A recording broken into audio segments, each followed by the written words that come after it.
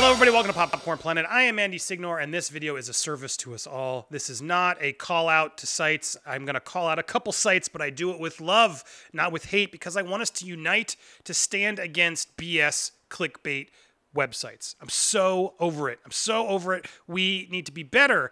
Uh, otherwise, we all suffer because really, even as a content creator now, I feel like we're all resorting to clickbait. If we don't just make crap up uh, to talk about what Phase 4 is going to have and who's going to be cast and what's going to happen, nobody's clicking because we're all competing for views, we're all doing it. And now what we're doing is we're going to, to these weird sites and encouraging the behavior by talking about it and making it newsworthy. So people go check it out and then see, oh, well, this site reported on it. And one of the biggest one of the biggest culprits of this site, and I see it all the time, is this site, We Got This Covered. Guys, they don't have anything covered but clickbait nonsense, and I'm going to break it all down. And I'm going to break down a couple of my friends online, channels that supported me uh, that use this site way too often. Uh, this is not a news site, guys. They are, and I, I want to break it all down for you so you understand why. And particularly with this story, Disney wants Brie Larson to lead their new Star Wars trilogy. Of course, this is a hot button topic that got a lot of people fuming because people online on the internet they don't like Brie Larson. Uh, that's not what this video is about. I got my own issues with Brie Larson, and you're allowed to hate on Brie Larson. I think she's done some great performances. Room, uh, Short Term 12. She's a good actress, but I don't love all her politics, and I didn't love the performance of Captain Marvel. But I understand why people are upset. Uh, but I think we could be civil about it. Uh, but this idea that she's going to be in Kevin Feige's new Star Wars trilogy, first of all, he's announced a project, not a trilogy, uh, is just complete guesswork. That's not confirmed in the slightest. There's not a single ounce of journalism to say why. Just the fact that she posed uh, in Star Wars cosplay a while back. and apparently was at the premiere of the Galaxy's Edge opening in Disney World who wouldn't want to go see that for free and see it early and not have to wait in lines? That doesn't mean she's doing a movie. She's friends with Disney people. That's how that happens. But of course, uh, Captain Marvel star showed her lightsaber skills over the summer, checked out the Galaxy's Edge experience in Disney, and after channeling her inner geek once more a few weeks later with another photo of herself dressed as Jedi, fans have begun to call for the actress to book a trip to the galaxy far, far away for real. But what are the chances that Brie Larson will show up in a Star Wars movie? Well, she's clearly a big fan of the sci fi franchise. Show your sources. Oh, there are none. We're just guessing. But given that she's busy preparing to lead the next phase of the Marvel Cinematic Universe, also speculation, uh, not true. Notice all of these links, all BS articles that all feed themselves. So you click one and you stay on their site, just keep clicking, click, click, click, click, click, click, click, click. Uh, all BS. I'm not clicking on these. Uh, it's unclear if she'd have time to hop on a Disney uh, Disney's other behemoth property. That being said, the studio would certainly be interested in having her on board if they can make it work. Sources close to we got this covered. The same ones that told us that Tom Welling was returning to Crisis Earth. Now, let's check that story out before I continue, because let's let's let's put their credibility to check. So two months ago, they said Tom Welling and Lynda Carter are in early talks to appear in Crisis on Infinite Earths. Lynda Carter's not confirmed. Uh, this is one of their exact exact things they do. If they just shoot obvious things out, I know uh, Lewis from Nuke the Fridge, uh, Nerd Alert. He actually talked to Tom Welling and knew this a year ago. This has been obvious, like, duh, if you can get Tom Welling to be Superman, get him. This has been something that fans have been speculating for years. So this is this is what they do. They say, well, of course, Lynda Carter will play Wonder Woman and Tom Welling will be Superman. Let's just put them both out there, and then when it happens, if it happens, we can say we knew because we got this covered. They didn't have anything covered. They're literally just listing a bunch of maybe this could happen, maybe that could happen. So BS. Now let's continue to read. Uh, they're also the ones that told us that Jonah Hill was signing on for the Penguin, or I'm sorry, for the, the Batman. Oh man, this one's even better because when you go and click that article, uh, sorry, we click this. When you go and click that article, you see Jonah Hill said to be frontrunner for Penguin in the Batman. Again, not confirmed. They're just guessing because he's portly. Uh, that's the portly character that would be in Batman. So what a what an easy guess. Uh, but they just speculate, speculate, and they really lead with Josh Gad, Nicholas Hoult, Toby Jones. They're crossing their bets. So if any of them win, they can say they had it covered. Uh, but according to multiple sources, the very same ones that said Pattinson is Batman, see what they're doing it again in the first place, uh, and who revealed that Black Adam will be the villain in Shazam 3, again, something that's not proven yet, uh, and which Zach Levi later confirmed, okay, which is now they're just literally links on links. Uh, Jonah Hill is the one of the act is one of the actors that Warner Brothers is currently looking at for the part. Uh, what's more, we've heard that he's actually the front runner for this role as well.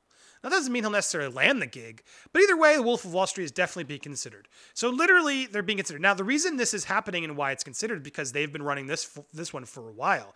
If you go four months prior, we can see they didn't mention Jonah Hill. It was Josh Gad and Nicholas Hoult uh, eyed to play the Penguin. Uh, that's who they led with in this article, and then of course, sometime later, they came up with Jonah Hill, uh, and you know, then they. Th- I, I, really don't believe. I wonder if they threw this in afterwards, but they are now speculating because where the Jonah Hill rumor started was if you click on here, you go even way, way, way back to 10 months ago. Uh, is Jonah Hill being eyed for the Penguin? Because some guy on Twitter saw that he followed Margot Robbie and Matt Reeves. So therefore, he must be the Penguin. That's literally their source. That they are found this a while ago and now they're claiming it as a source. And now, because you can't really give your sources up or prove anything, they have a source. They've gotten sloppy and aggressive, and it needs to stop. This is ridiculous. And in case you don't see what I'm talking about, guess what? From six days ago, Jonah Hill's also reportedly being eyed for the thing in MCU's Fantastic Four. I'm sure this one will prove to be true so they can take credit for it later. And if they don't, guess what? You'll never see this article again. It'll just disappear into the internet with their thousands of other articles that are fake news that nothing did. So now why am I bringing this up? Why is this such an annoying thing? Because they they try and make it seem like they are legitimate. Uh, the same ones that told us that the CW is developing an Arrow spinoff. Uh, what an easy bet. the CW is developing another spinoff from Arrow because they've already done it five times and Arrow's ending. So, safe guess to say that they're spinning off another movie. Uh, have just been confirmed, have told us that Disney really wants Brie to take one of the lead roles in either Rian Johnson's new trilogy or or the one coming to us from Game of Thrones trilogy. First of all, they're so out of touch. I don't even believe Rian John. I don't even believe these trilogies are locked yet. I think we're going to find news that they fell apart. But now there's sources saying that they're going to be in one of those trilogies. This is just like such BS crap that they're just trying to like make it seem like they know what's going on, but they don't have any clue what's going on. They have nothing covered. Uh, it's unclear which one she'd appear in because God forbid Feige do something completely different. so out of touch, this whole article. This was before Feige admitted it. Uh, that he was doing this. I guess they don't even have that uh, part of this. They they guessed this before, so now people are jumping on. Uh, but from what we understand, the Mouse House would like to find a way to make it work and have her continue for her MCU commitments while also being involved in Star Wars. And though that may not be possible in the end, we'll keep our fingers crossed that things work out. Uh, of course, and they just make more things. And of course, they called this, that She Hulk was being developed. Literally, I bet you if we go, well, you know what? Let's do it let's do it. What I want to do is like look up some things to prove how ridiculous this site is, just so we can really. So let's look up. Everybody's uh, reporting on this one, of course, now, but and I'll get to that uh, of my frustration there. But now let's see their speculation. WB may ad- adapt Flashpoint for the Flash 2 to bring in Pattinson into DCU. Sounds like a safe bet, right? Patrick Wilson and Nicole Kidman will return for Aquaman 2. Sounds like a safe bet. Uh, Sony reportedly uh, developing solo movie for Jake Gyllenhaal's Mysterio from an hour ago. Sure, maybe. Disney considering buying Spider Man back from Sony. Wow, so years from now, when they do it, they can say, We called it. We had that covered. Marvel wants both Cosmic Ghost Rider and Johnny Blaze to be in the MCU. That's not broad or vague enough, right? Uh, MCU's next few story arcs have been reportedly revealed. Marvel wants to do a Midnight Suns movie. Supergirl will reportedly cameo in the next Superman movie. I mean, you could go and do this for hours. Uh, they guess Wolverine may be getting its own Disney Plus show. Deadpool 3 will be reportedly R rated. This, why are we encouraging this? Wow, like this is ridiculous what they're doing. I, I, it makes me so mad. Here's how Jonah Hill could look as the Riddler because now they're placing their bets more because while we got this covered, said he was the front runner for the Penguin, he might play the Riddler instead. So let's make sure we do that too. Uh, Will Smith might be eyed to star in the Fantastic Four reboot because why not? These are all headlines. Let's look. Okay, now I want to show this. Let's just speculate. What do they know about Phase Five? Well, apparently they're already jumping into Phase Six because they want multiple superhero teams in Phase Five and Six. Uh, they're holding secret meetings. A week ago, they we got this covered. Told us that they're holding secret meeting to soon plan and phase out uh, to fan to uh, plan out Phase Five. Uh, this is ridiculous. It's ridiculous. Uh, Doctor Doom and Doctor Strange will reportedly face off in MCU Phase Five. David Harbour's Red Guardian return after Black Widow for future MCU films. Marvel may cast a person of color for the MCU's Professor X and Magneto. I mean, this is Breaking Bad star being eyed to play Professor X. I mean, nothing in here is fact. It's all made up gobbledygook. Oh, and there's Looper popping up. uh, I noticed this a while back too when they talked about the live action remakes at Disney. They want to do apparently a Brother Bear remake. Oh, and a Princess and the Frog remake. And a Home on the Range remake, as if it couldn't get more absurd. The Roseanne Barr animated film that bomb that no one wants. Uh, Hercules, of course. Fox and the Hound. Why not? Let's just put what other Disney movie can we just say that they're working on? Uh, Benedict Cumberbatch is being eyed for Hades in Disney's live action Hercules remake, which isn't even confirmed. I mean, this just shows you how ridiculous is. And the reason I get this upset is because sites I know support me, and this is to you, geeks and gamers, Uzzias and, and Jeremy at uh, Quartering. Uh, you guys do this all the time. And f- to be fair, in the Geeks and Gamer, he admitted this isn't news, speculation, but they're all showing this. We got this covered link. They're treating it like it's news. They're giving it clicks and views. Why are you guys doing this? Come on. This isn't news. Now, if you want to just speculate on, you know, Brie, Brie Larson shouldn't be in Star Wars, then that's fine. But when you go and use the news site and just read it as sort of your, your touching point to go, that's not a take. You're encouraging a lying website and you're sending views. All of us are sending views to the site. And the only reason I'm calling it out is because I want to stop sending people these sites. We got this, you know, they don't got anything covered. Geeks and Gamers, quartering, please stop using them. If you want to use them as research and get some good ideas and then do your own takes, then do it. Like, say whatever you want. But my point is, let's not legitimize this clickbait site and give them more traffic. They make money by the more clicks they get. And when they get legitimate channels to confirm and use them, you know, and, and talk about it, people go searching. Is this news? And I'm going, we all went and gave them some clicks and then they get paid. And then they're encouraged to do this more. And as we as YouTube creators, all of us, even you guys, I'm, I'm the ones I'm calling out, I don't say this meanly. I just say we got to look out for each other. We got to stop sending the traffic out to this crap because we're all resorting to making stuff up at this point. I've seen people doing it. We, we are so desperate for the clicks because the algorithm screws us on YouTube that we have to say whatever the hell we can say to get views. Uh, and I'm trying really hard to not resort to that. I, I try to be honest and genuine. Uh, and if I clickbait you, I call it a clickbait in the title so you know I'm, what I'm doing as sort of a joke. Uh, but, you know, at the same time, I see other channels they're falling for it and they're doing it more often. And we should be careful to say, you know what? This one comes from a site that we don't encourage, uh, but it sparked the conversation of, well, what if they did do this? And then at least you're being honest and you're not calling them news and you're not giving them any credit. That's all I'm pushing for here.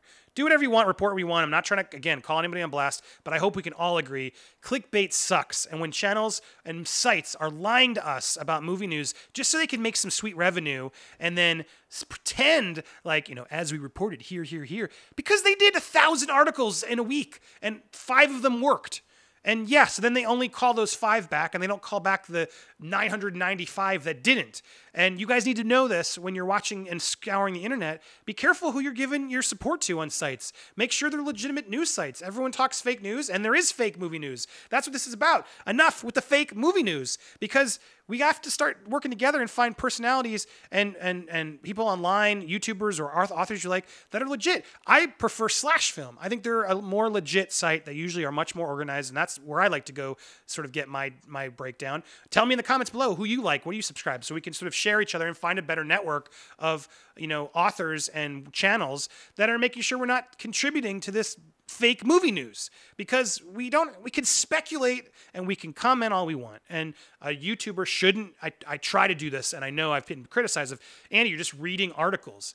Well yeah i'm using the article as a headline to start a conversation and then offer my perspective because this is my channel and i do it because i want to do it. I enjoy talking and i enjoy talking with you and hearing your feedback reading your comments. If you don't like it you don't have to be here. Uh, but my point is converse, conversing about it speculating about it you know, doing theories, reviewing, critiquing, all of that's fair game, and we we should be doing that. But encouraging sites that are literally doing clickbait headlines and hedging their bets on which actor will be in Phase Six, so that if one of them is right, now they seem legit. That's really dangerous for us as a community, and I think we all need to be careful of it. So, yes, I'm calling out. We got this covered. They don't have anything covered.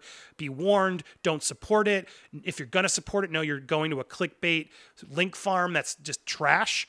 Uh, and be careful because there's no legitimate news there. It's not. It's all guesswork. It's all and, and there's other sites out there, and but that we got this covered as the most guilty of this because at least other sites that I might that you might want to call out sometimes have actual news. Uh, but no, we got this covered. Isn't they? They're uh, Screen Rant is becoming that, which is really scary. They used to be actually better.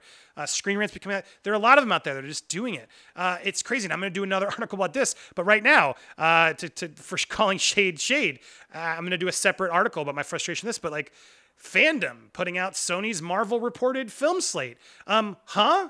Based off of what? Where do you have any backing of this?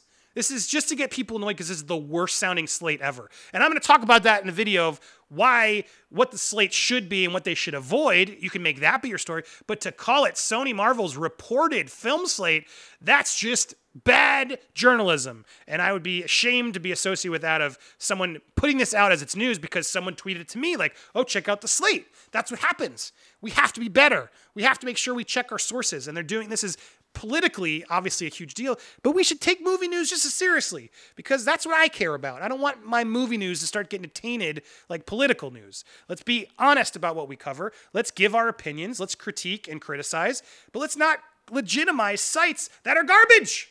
What do we say? Can we agree on that? Let me know. Hit me up on social media. Tell me what you think. Send me articles you want me to call out. I want to make that part of my routine here, uh, as well as things I want to talk about. Uh, leave your comments down below. Let's start a conversation. Uh, and I appreciate you hearing me out in my complaints and to, the, and to Geeks and Gamers, Jeremy and Jeremy the Quartering, all you guys. No disrespect, but come on, let's try. Let's try to avoid that site. Let's try to avoid the really bad clickbait sites. And if you're going to report on it, great. Just don't make them seem like they're a news story. Can we agree on that? Please be better, all of us together. What do you think? Let me know. Thanks for watching. I'll see you next video. Bye.